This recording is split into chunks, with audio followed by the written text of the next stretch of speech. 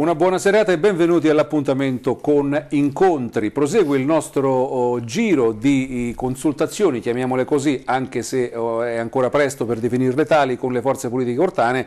Eh, con me questa sera Sergio Pecerolo di Idee Chiare. Ho Buonasera. usato il termine consultazioni, non so se è un termine appropriato, ma vi consultate tra di voi, insomma, qui con me è diciamo che più una chiacchierata un po' informativa per i cittadini, questo era il termine più corretto da usare. Comunque eh, benvenuto, grazie, grazie di essere qui con noi. Idee Chiare si ripresenta come forza politica indipendente dopo aver vissuto l'esperienza del quadrifoglio dopo diversi anni.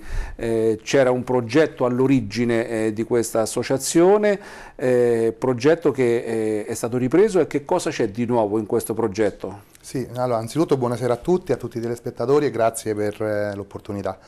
Eh, Idee Chiari si ripresenta, era, mh, mm, nasce Idee Chiari nel 1999 eh, quando un gruppo di persone decisero di dare vita a questo progetto civico. Eh, non tutti sanno, oh, e mi sembra giusto dirlo, che io all'epoca avevo poco più di vent'anni e la prima volta che mi affacciavo alla scena politica la feci proprio con Idee Chiare, quindi partecipai alle riunioni di Idee Chiare. Dopo quelle elezioni mi avvicinai con eh, estrema soddisfazione a questo movimento e poi feci una scelta diversa, era quella di entrare in rifondazione comunista. Detto questo, poi tutti sanno come andare a finire quel progetto. Idea Chiara è, mh, è stata all'opposizione del eh, sindaco Pattumelli dell'epoca per eh, ben 5 anni. E all'interno di questa posizione eh, è nato il quadrifoglio. Progetto civico molto importante formato appunto da idee chiare sì, è una, storia comunista sì, la, sì, sappiamo, la sappiamo tutti oggi, che cosa, oggi cosa succede? oggi idee chiare alla luce del fatto che eh, in modo molto onesto il quadrifoglio non, ha, non, esiste più, il quadrifoglio è decaduto con l'ultima eh, legislatura. legislatura. I Chiari ha deciso di ripresentarsi ai cittadini con l'umiltà con cui si era presentata nel 99, con una serie di persone che facevano parte già nel 99 di questo progetto e con nuovi personaggi che ne, oggi ne fanno parte.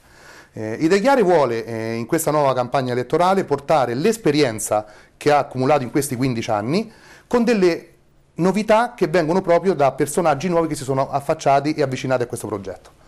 Eh, noi non rinneghiamo assolutamente quello che ha fatto il quadrifoglio, anzi andiamo orgogliosi di quello che è stato il quadrifoglio, però non possiamo più eh, né piangere rispetto a quello che è successo eh, e lo guardiamo neanche con rammarico, ma con la voglia di andare oltre a quel progetto ed iniziare da capo un percorso che sicuramente eh, fa sì che delle persone con un'esperienza... un po' oh, ieri mette un, re, resetta tutto quello che è stato, rincomincia da zero, rincomincia singolarmente come associazione esatto, singola. ricomincia da zero, singolarmente come associazione unica, portandosi dietro però quel bagaglio di cultura, quel bagaglio di esperienza, quel bagaglio di idee che hanno fatto sì che per 15 anni Orti è stato governato, a mio avviso, in modo entusiasmante. Ecco, in queste settimane passate eh, sono, si sono avvicendate su questa poltrona eh, gli altri personaggi della vita politica eh, locale e ognuno ha espresso un po' il suo pensiero su cosa occorra fare per eh, dare impulso a una nuova crescita della città. Eh, che cosa eh, mette in piatto idee chiare, che cosa propone ai cittadini, anche se magari adesso è un po' prematuro dirlo perché si sta costruendo il programma, si stanno facendo le cose, però insomma delle idee già, come dite voi, chiare ce le avrete su cosa sì, fare. Noi portiamo, cosa mettiamo in atto? Mettiamo in atto anzitutto il continuamento di quella sorta di, di, di innovamento che abbiamo portato a Orte come quadrifoglio, portiamo avanti l'idea che per fare le cose bisogna essere presenti sul territorio, bisogna riuscire a parlare con le persone, bisogna essere molto concreti. Non ci è mai piaciuto e non ci piace tuttora eh, fare false promesse, eh, non abbiamo bisogno di slogan, non li abbiamo mai fatti, non li faremo mai. Chi ci conosce, conosce, sa che siamo delle persone molto molto ben concrete, molto ben definite, che vanno subito al punto della questione. Eh, e quindi qual è la risposta alla domanda? Cosa mettiamo in atto? Mettiamo in atto il proseguimento di idee e di un programma che purtroppo non è stato possibile portare avanti per l'ultima esperienza comunale, quindi ripartendo da lì e portando avanti tutto quello che erano le nostre idee fin dall'inizio. Eh, dobbiamo finire la casa famiglia, dobbiamo finire la struttura, quella che sta a Pedignano dell'SA, dobbiamo finire di... Eh, lavorare sulla questione delle scuole ad Orte, dobbiamo finire di parlare di, di acqua eh, e poi un tema molto importante con il quale vogliamo approcciarci con molta, come dire, umiltà ma concretezza che è il discorso della sicurezza, che oggi tutti parlano di sicurezza e noi non è in questa fase ma abbiamo già dei progetti molto molto interessanti che poi porteremo alla conoscenza dei cittadini per un discorso di sicurezza del paese per fare sì che Orte diventi veramente un paese molto più vivibile di quello che è oggi eh, e sicuramente lavorare dal punto di vista ambientale per renderlo ancora più vivibile. Ecco, hai parlato di finire, finire, finire, eh, quindi eh, un impegno più proteso verso il consolidamento di quello che c'è eh, facendo ritardare una progettualità oppure sono cose che vanno di pari passo? No, sono cose che vanno di pari passo, cioè noi non possiamo dimenticare che abbiamo delle opere all'interno del nostro territorio comunale che non sono ancora terminate. Noi dobbiamo anzitutto essere coerenti con noi stessi e dire quelle opere che noi abbiamo voluto con forza le vogliamo oggi portare a termine. Parallelamente a quelle opere abbiamo una marea di idee di portare all'interno della cittadinanza, di portarci al confronto con i cittadini per vedere quanti e quali di quelle possono andare in, a, a lavorare in modo come dire, eh, programmatico e in maniera speculare insieme a quelle già esistenti. Ecco, ho detto poco fa, riprendo un po' le tue frasi, ho sì. ascoltate attentamente, eh, ci impegneremo um, nel, pro, in, con dei progetti, dei progetti però che devono essere sempre sostenuti da un impegno finanziario, sappiamo benissimo che le nuove leggi dello Stato eh, non consentono più quella, eh, quella buona liquidità. dose di, di liquidità e di trasferimenti, insomma bisogna attingere risorse no, e poi andare a penalizzare i cittadini con delle nuove tasse sarebbe Ma, um, sicuramente non eh, opportuno, credo certo, io. Noi, eh, ecco, come, come si può, come si inserisce De Ieri in questo Guarda, in questo, questo secondo me Gianni è stato un, eh, un progetto che noi già abbiamo fatto. Eh, perché se io vado e chiudiamo un attimo gli occhi tutti quanti e pensiamo a come era Orti dieci anni fa e come oggi, eh, vediamo che ci sono stati sul territorio una serie di cambiamenti importantissimi in periodi difficili economicamente, dove era difficile raggiungere determinati obiettivi o arrivare a prendere determinati finanziamenti. Noi ci siamo riusciti. Quindi con la stessa concretezza noi andiamo lì, cioè noi pensiamo che un progetto valido, un progetto serio, possa avere la strada per arrivare a finanziamento valido e serio.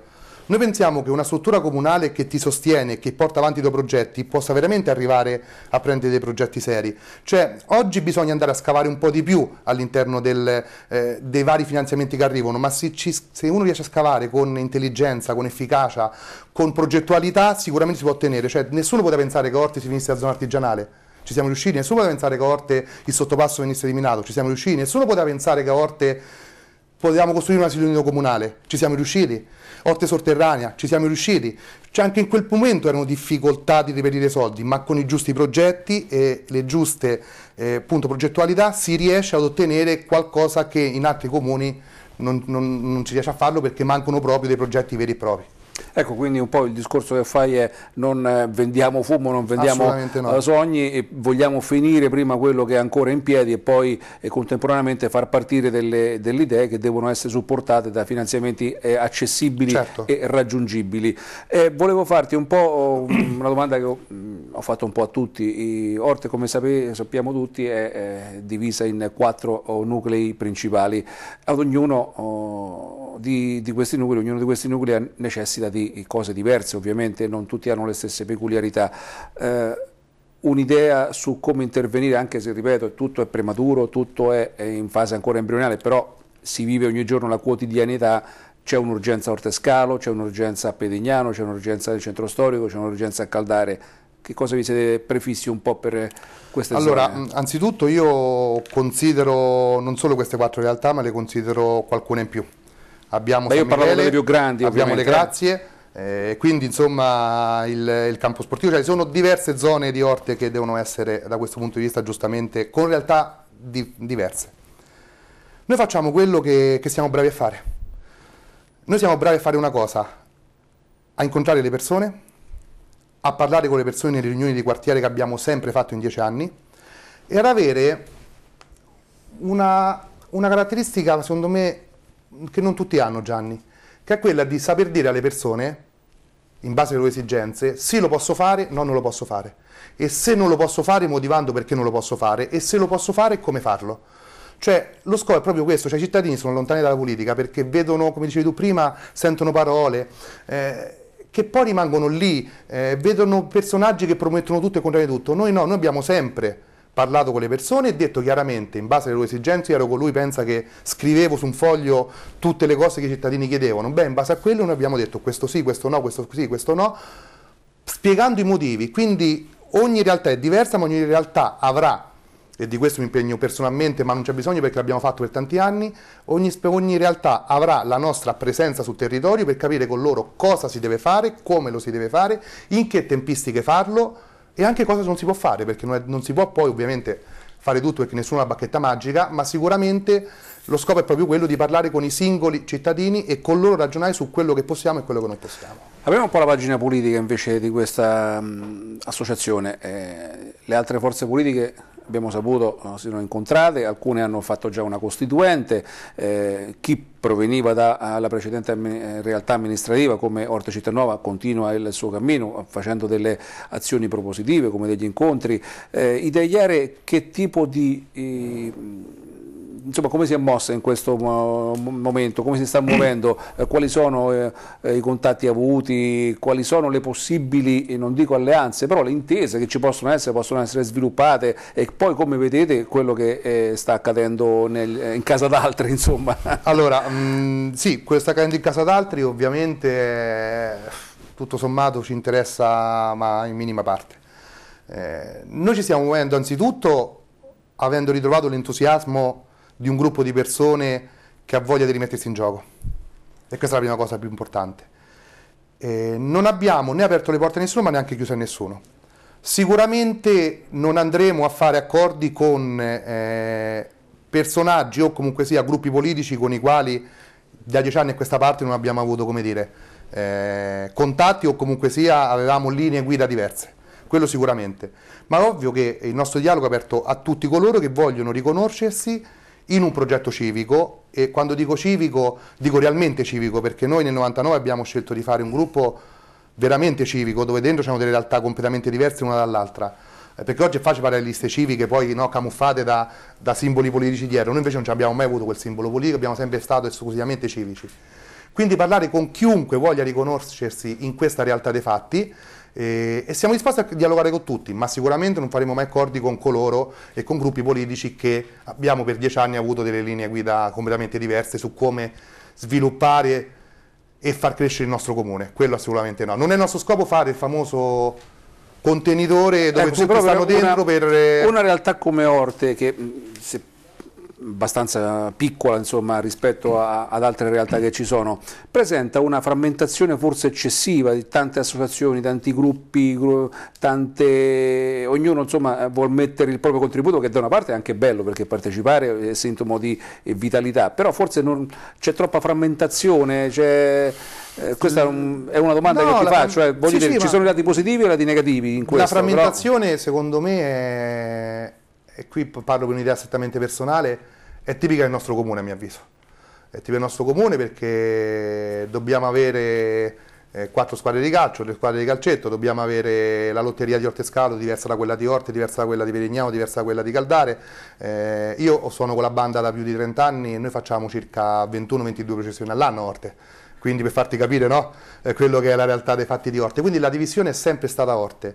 Eh, io su questo ho, condivido pienamente il fatto che se da una parte c'è positività perché molte persone mettono in gioco, dall'altra parte è difficile capire ma perché se abbiamo degli elementi comuni delle idee comuni non possiamo io eh, ho fatto questa domanda, incontrarci ecco io ho fatto questa domanda parlarne. perché ho, ho, sentito in queste settimane eh, persone che sono sedute qui di orientamento politico diverso, poi alla fine eh, le, le proposte, le idee erano simili, erano molto, molto vicine, allora mi, mi, chiedevo come mai questa eccessiva Ma frammentazione. Le idee fondamentalmente possono essere anche simili, secondo me la differenza sostanziale è come portare a termine queste idee e in che modo approcciarsi al territorio, perché è ovvio che se parliamo eh, di sicurezza eh, non è che eh, tutti quanti abbiamo lo scopo comune è quello di eh, portare a termine il discorso che i cittadini possano stare tranquilli nel proprio comune, però poi è vedere in che modo tu vuoi approcciare quel problema.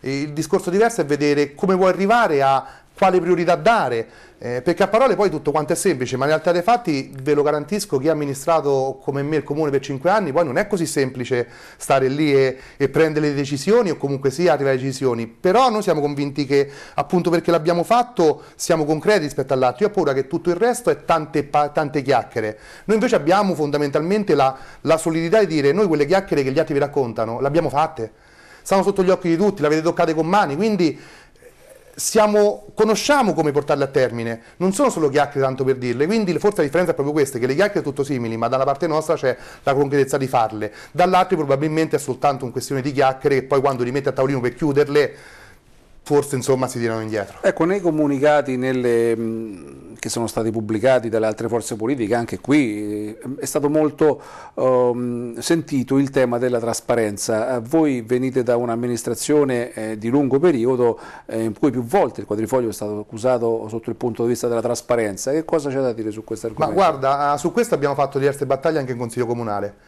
Eh, noi abbiamo pensato che la trasparenza secondo noi è fare le cose in base alle normative vigenti questo è sempre un discorso di, eh, dire, eh, di, di, di, chiarezza con i cittadini che abbiamo avuto. Io mi ricordo che la cosa che più ci accusavano era il discorso delle, degli appalti, quindi di, dare, di andare a affidamento diretto eh, senza passare per gara pubblica, eh, quando la legge prevede andare a affidamento diretto.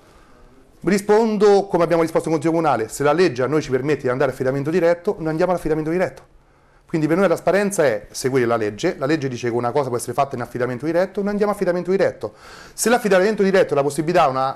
Perché questa scelta? Perché secondo è una scelta A più logica, B più veloce e C perché dice la possibilità di far lavorare le persone che stanno nella nostra comunità perché andare poi in questo caso, andando specifico, a una gara d'appalto più larga potrebbe far sì che chi è Orte, chi ha le possibilità di poter lavorare su delle strutture di Orte potrebbe ecco, non qualcuno però ha detto sem- mm, qualcuno afferma cioè, dare però sempre in affidamento diretto eh, costa di più.